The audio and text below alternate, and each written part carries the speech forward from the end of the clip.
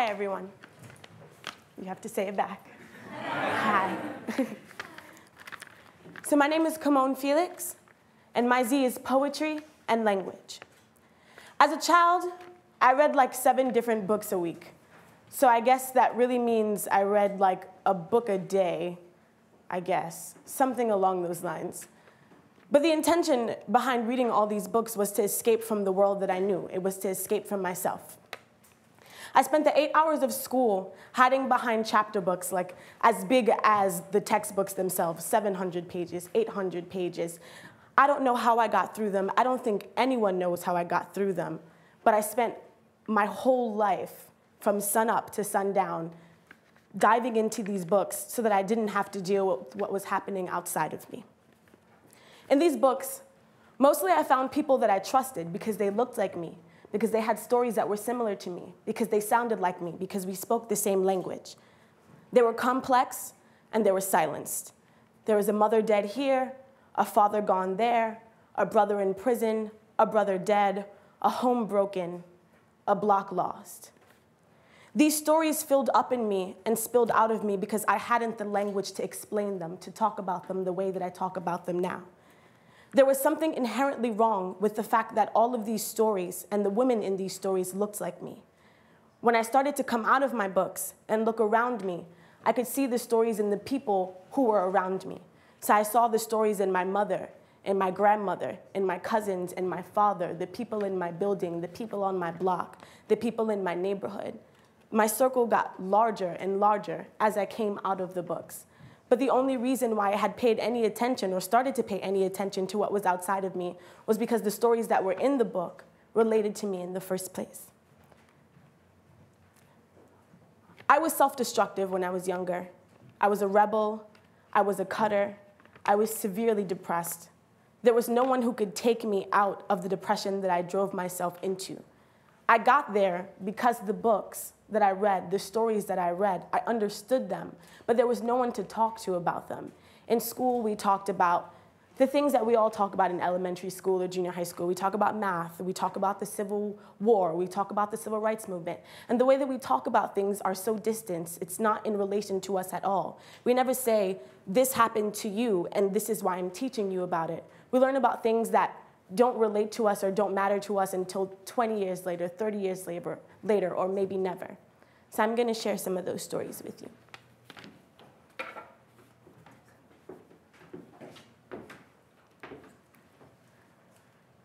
When a little girl says that a man's hands have been where they should not have, and nobody moves, expect flames.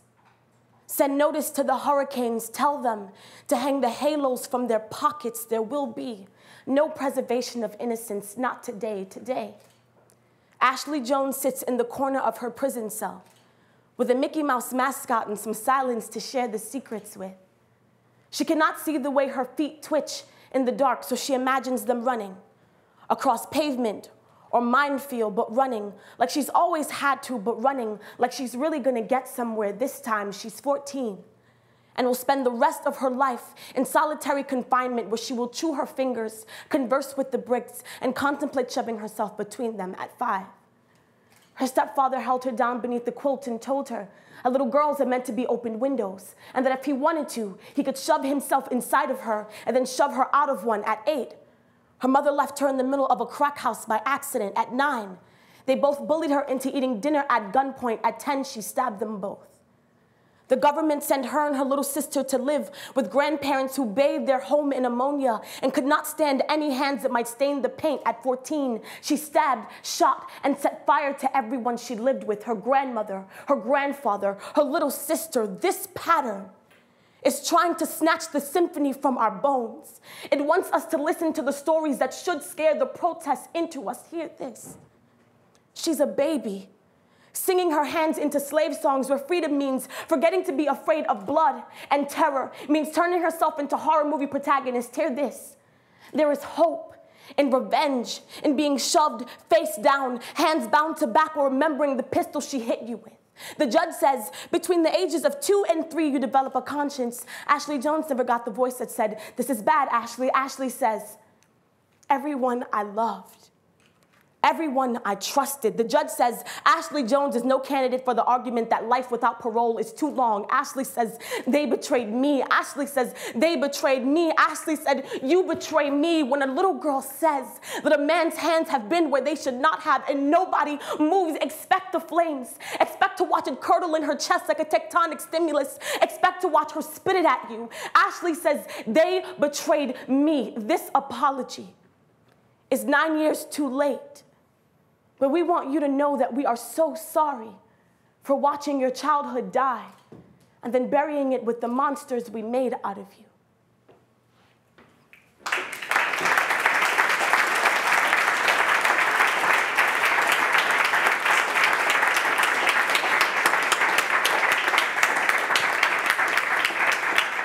Ashley's story, while it stands alone, is a facet of so many stories that get stuck at the bottom of the barrel. According to the Bureau of Justice statistics, one in three black men can expect to go to prison in their lifetime.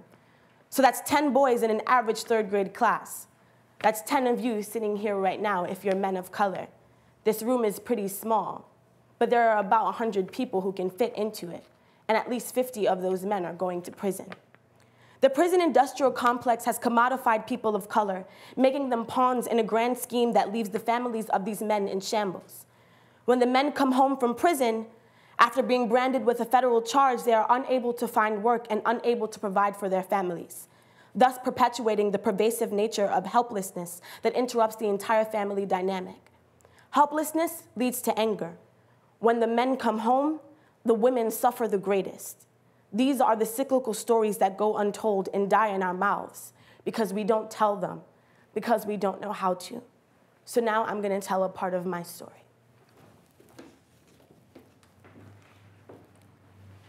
If you've been waiting for the day that you'll be dressed for truth, it'll be the day of your rape kit, when they will lock the balls of your feet into clamps that hold like labor.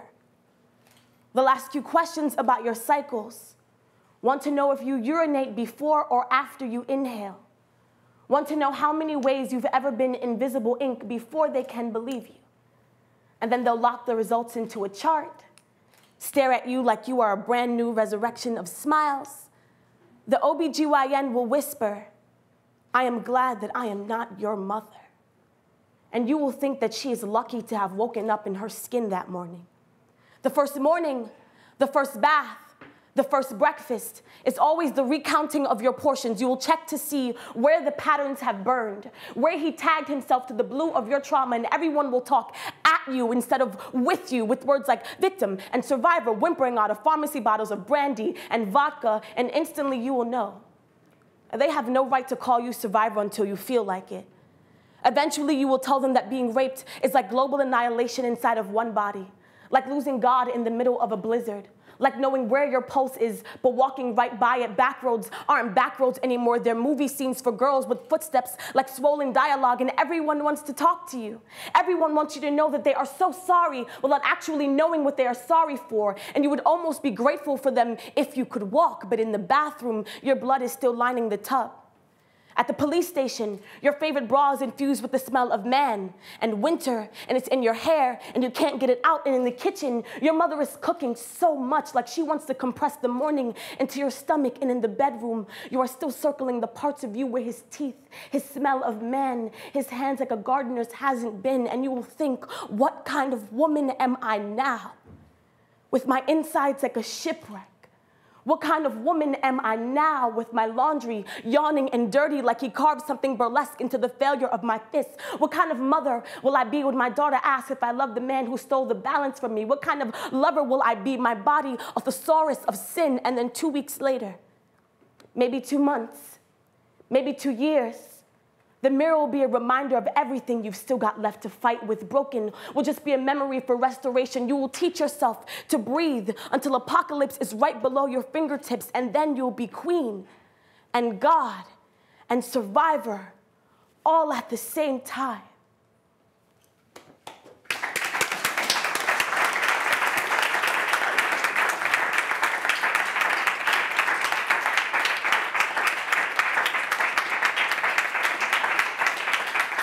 That my story. In this room right now, there is someone sitting next to you, across from you, behind you who knows this story as well as I do. For a long time, I didn't have the language to define what happened to me. But growing up, writers like Maya Angelou, Alice Walker, Gwendolyn Brooks offered me a perspective of reflection. The only reason I can stand before you right now with such assurance is because other writers gave me a mirror. I do this because I want to be a mirror, because I believe that every story is a mirror. There is no equation for oppression. Even with the keys in the locks and the truth lined up right in front of us, oppression will never make sense. What we do have are our stories, the way they make us feel, how we make others feel. And the only thing that makes sense at this point is the rawness of humanity. My story, your story, and the collective story of us is what answers the questions. My name is Camonghne Felix, and my Z reclaims the narrative. Thank you.